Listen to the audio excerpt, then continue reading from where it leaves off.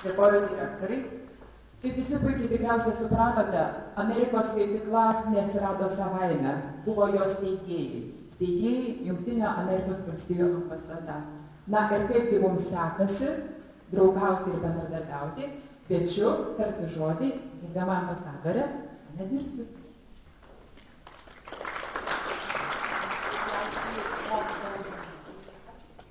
Ačiū labai. Okay? Gerai? Ponios ir ponai, gerbiami svečiai, rangus bičiuliai, laba diena. Aš džiaugiuosi būdama šiauliuose šiandien su jumis šią svarbę progą.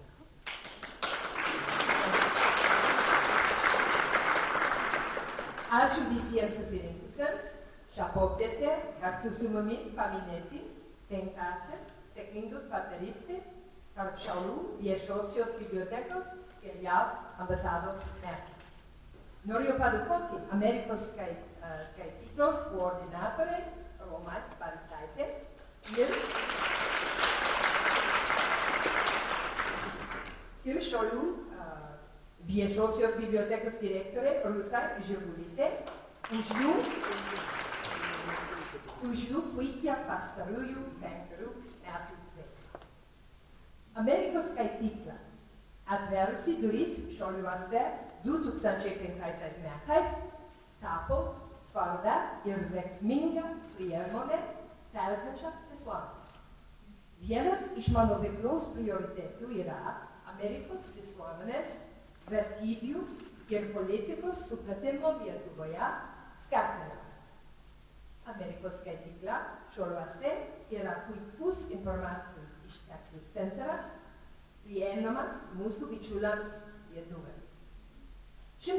Moksleivių čia dalyvavo Amerikos švenčių minėjimuose ar varžėsi piešinių bei aišku rašymo konkursuose.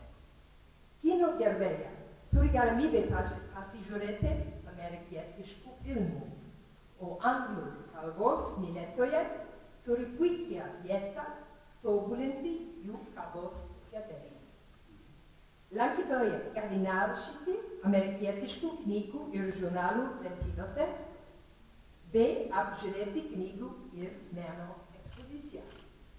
Mūsų bendras tikslas yra telkti bendruomenės, palaikyti atvirą dialogą su žmonėmis, siekiant nutiesti supratimo tiltus tarp mūsų dviejų tautų.